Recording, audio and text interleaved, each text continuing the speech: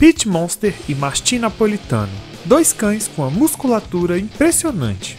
Mas, entre esses dois, qual o mais poderoso? Se quer descobrir, já dá um like nesse vídeo e se inscreve no canal. Pit Monster Há alguns anos começou a surgir um novo tipo de Pitbull, que eram cães bem maiores e mais pesados que o American Pitbull Terrier original, que como vimos em outros vídeos, são cães de médio porte. Mas é importante destacar que os Pit Monsters não são apenas uma linhagem do Pitbull, já que foram utilizados outras raças para sua criação, como por exemplo o Bulldog americano, o Mastiff inglês e o Cane Corso. Embora ainda exista uma divergência sobre quais as raças utilizadas na sua criação. E nisso começou a ter uma divisão entre os criadores de Pitbull tradicional e as versões maiores. Daí, as entidades resolveram separar as duas raças para acabar com as divergências e, para assim, preservar o American Pitbull Terrier tradicional. E com isso, o Pit Monster surgiu, sendo um cão bem maior que o Pitbull e de aspecto bem mais robusto. Mas é importante dizer que o Pit Monster é uma raça em desenvolvimento, ou seja, o seu fenótipo ainda não está totalmente definido, o que faz com que existam várias linhagens de Pit Monster e essas linhagens possuem características muitas vezes distintas. Embora, claro, já exista um padrão redigido sobre as características da raça. Mastim Napolitano O Mastim Napolitano é uma das raças mais antigas, sendo descendente do antigo Molosso romano, de forma bem semelhante ao Cane Corso. Essa raça foi difundida por toda a Europa pelas legiões romanas, já que a utilizavam como cão de guerra. A raça foi utilizada por muitos séculos na zona rural, ao pé de Vesúvio e nas regiões de Nápoles, mas ressurgiu apenas em 1947 graças aos esforços de um grupo de amantes da raça. Comparação. E vamos comparar hoje dois cães poderosos, e com a musculatura incrível. O Pit Monster, que é esse monstro que vocês estão vendo, um poderoso cão que foi criado para ter uma aparência de um pitbull gigante e por isso o nome Pit Monster, e o Mastim Napolitano, um poderoso cão guerreiro que, assim como Cane Corso, descende do antigo Molosso romano. Esse cão é conhecido por ser extremamente pesado e ter uma pele bem grossa. E os critérios para análise serão altura, peso, força de mordida, agilidade, estamina, força física, inteligência e resistência. Altura. Bom, o mastim napolitano, como é de se esperar de um cão de porte gigante, possui uma altura bem notória. Uma fêmea de mastim napolitano mede de 60 a 68 centímetros e um macho de mastim napolitano mede de 65 a 75 centímetros. Então, trata-se de um cão bem alto. Já o nosso Pit Monster é um cão bem mais baixo. O padrão dessa raça diz apenas que ele possui uma altura mínima, e a altura mínima de um Pit Monster fêmea é de 45 centímetros, e a altura mínima de um Pit Monster macho é de 50 centímetros.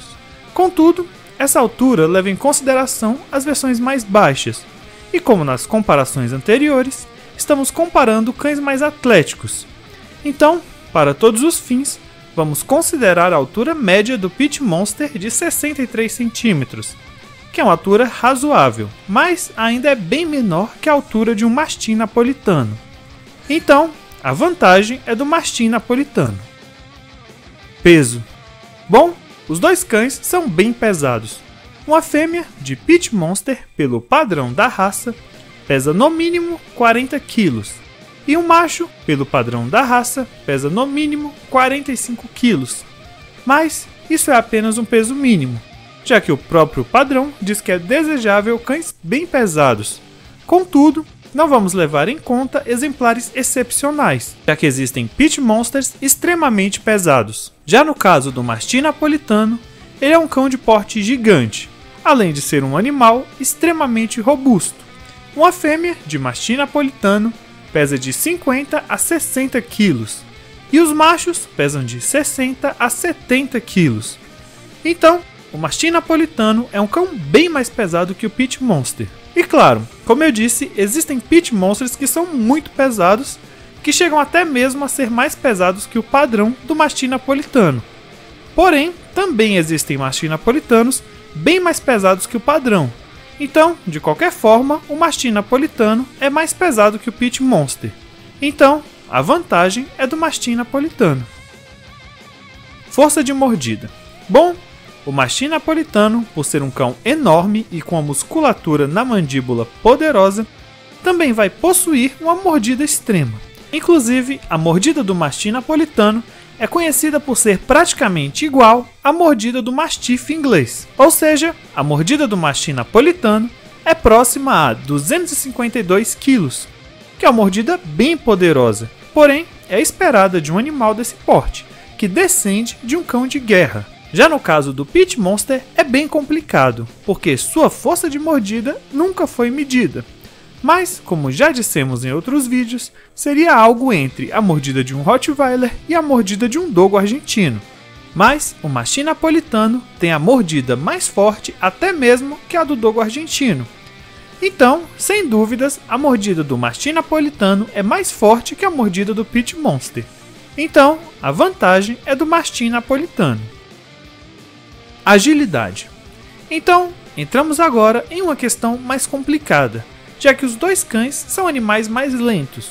Porém, nesse caso, o peso faz diferença, já que o Pit Monster é um cão mais leve em comparação ao Mastim napolitano. Mas lembrando que estamos analisando uma versão mais atlética do Pit Monster, já que, como o Pit Monster é uma raça em desenvolvimento, Existem várias linhagens diferentes com características diferentes, mas as versões atléticas do Pit Monster são sim mais rápidas que o mastim napolitano.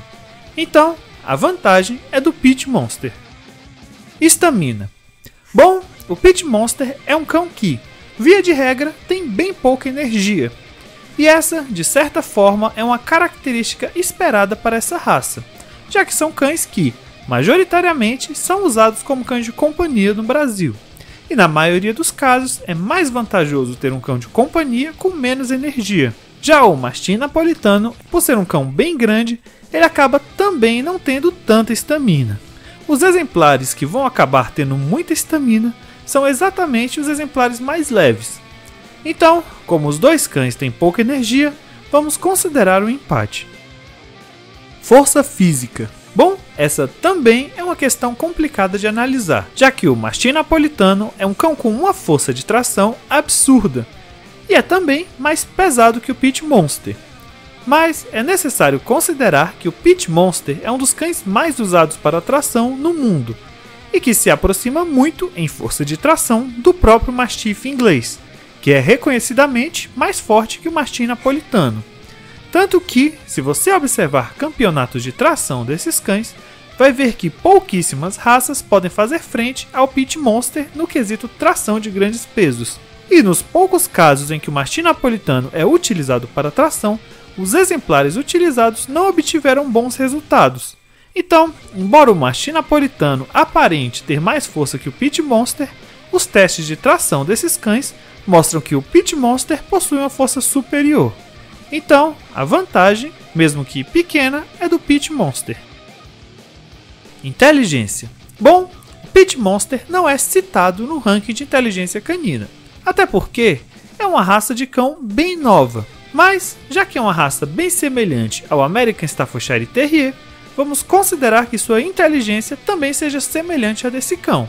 Então, o Pit Monster estaria em algo próximo à 34ª colocação. Já o Mastim Napolitano é conhecido por ser um cão menos inteligente, já que ocupa a colocação de número 72 no ranking de inteligência canina, ou seja, é um cão de inteligência baixa, já que está próximo a cães primitivos no ranking de inteligência canina. Então, a vantagem é do Pit Monster. Resistência. Bom, essa é outra característica difícil de ser analisada nesses dois cães, porque o mastim napolitano é um cão enorme, poderoso e com a pele bem grossa, ou seja, é um cão com resistência extrema. E bom, temos o Pit Monster, que embora seja um cão mais calmo, é um dos cães mais resistentes do mundo.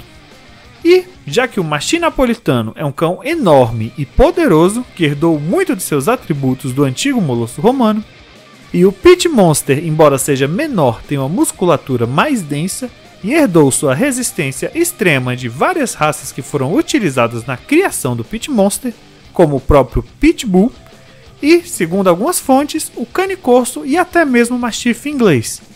Então, já que o Pit Monster tem uma musculatura mais densa, mas o mastim napolitano é um cão bem maior, vamos considerar um empate. Conclusão: no placar final ficou 29,5 para o Pit Monster e 30,5 para o mastim napolitano. Então, a vitória é do mastim napolitano. E bom, isso acontece porque o mastim napolitano é um cão bem grande e poderoso, sendo inclusive semelhante ao mastiff inglês em alguns atributos. Ou seja, esse cão é um verdadeiro tanque de guerra. E claro, o Pit Monster também é um cão poderoso, com a resistência extrema, mas o mastim napolitano é um cão maior e com a mordida mais poderosa até mesmo que a do Pit Monster inclusive sendo igual à mordida do poderoso mastiff inglês. Mas e aí? Concorda com o vídeo? Discorda? Comenta aqui embaixo com a sua opinião e não se esquece de se inscrever no canal e dar like nesse vídeo.